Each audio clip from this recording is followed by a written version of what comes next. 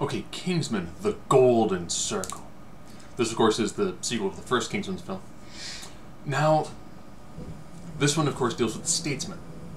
That's because this, the Kingsmen get attacked, leads their forces in a great amount disarray. So, of course, they then find out about the statesman. So you now get to see the American version. And ironically, they have names like whiskey and tequila. So we go from Knights of the Round to alcohol. With a similar sort of setup. You've got the brains of the operation, the person wearing glasses. They have their own styles of glasses. Still pieces of technology. I will say, Whiskey, who has multiple styles of lassos, he has one that's an energized lasso that allows him to cut through things. It's pretty wicked.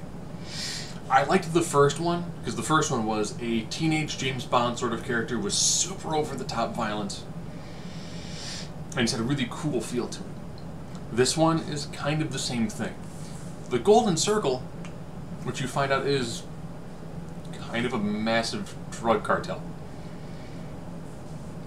Not really a spoiler because when they first show them, you're like, oh, this is a bizarrely idealized like 1950s America town in the middle of the jungle. Okay. And headed by Julianne Moore's character, who is played very much like a tongue-in-cheek, over-the-top villain. With the rites initiation to become part of the Golden Circle and what her massive, massive plan is for effectively not quite world domination, but a way to make herself one of the richest people ever. Ironically, it's uh, emblematic of a Spider-Man Sinister Six storyline. If you get the correlation, don't put it in the, the comments. I don't ruin it for anything, for anybody. What is really missing, though, is in the first one, Colin Firth had that that fight sequence where it is ridiculously over the top. This one, they've got a fight sequence in a bar, which is kind of close, and they have the ending fight sequence, which involves an umbrella and a suit and a like a, a briefcase, which is very over the top. I liked it not as much as the first one. I thought they did some good some good moments, and at almost two and a half hours, it flowed really well. Make sure you watch the first one because they do constant callbacks to the first one.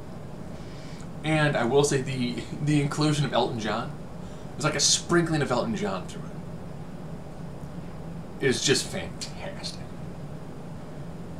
I really like this one, not as much as the first one, the first part because they had, you know, it's more of the setting up this group and this one. The Kingsmen are still pretty much the majority of it. The Statesmen it felt like they had lots they could have done with them, but they didn't to make this more of a, a Kingsman story.